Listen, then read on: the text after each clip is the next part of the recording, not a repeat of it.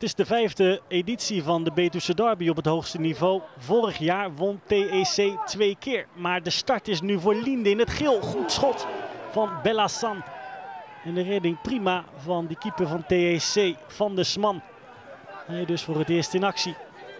Augustine speelde jarenlang voor Swansea City in de Premier League. Prima bal met een gelukje voor Fink. Fink en een prachtdoelpunt van die topschutter van TEC. Dit is zijn zevende en het is een juweel.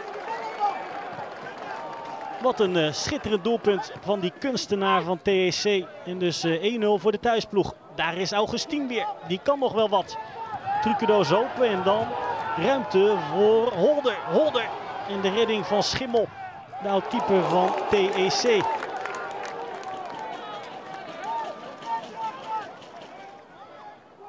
Daar is Vink weer.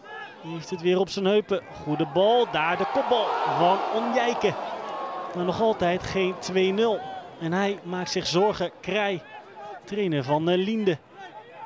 Toch uh, de laatste zes wedstrijden al geslagen. Hier is Holder, oud speler van Linde. En daar is het 2-0 voor TEC.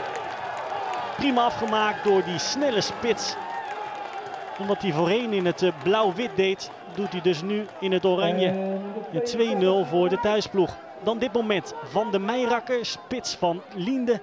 Krijgt wel heel makkelijk een strafschop van de arbiter en maakt het dan zelf af. Het is zijn elfde van het seizoen. En wat er daarna gebeurt is uh, natuurlijk gek. Het is judo, het is worstelen. Uiteindelijk krijgen ze allebei geel. Slotfase wedstrijd dan. Linde op natuurlijk. En dus heel veel ruimte voor TEC. Bijvoorbeeld bij deze invaller. Serrat Korts. Ook zo'n oud prof. En ook hij kan alleen maar mooi scoren. En dus 3-1 voor TEC. Groot feest daar in Tiel. En hij doet het toch mooi hoor. Met deze prachtige lop. Schimmel gepasseerd. En dus uh, mogen zij feest vieren. 3-1 de einduitslag.